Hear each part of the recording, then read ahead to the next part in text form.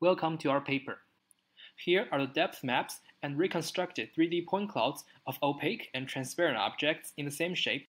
We notice that RGBD sensor cannot return valid depth values for transparent objects.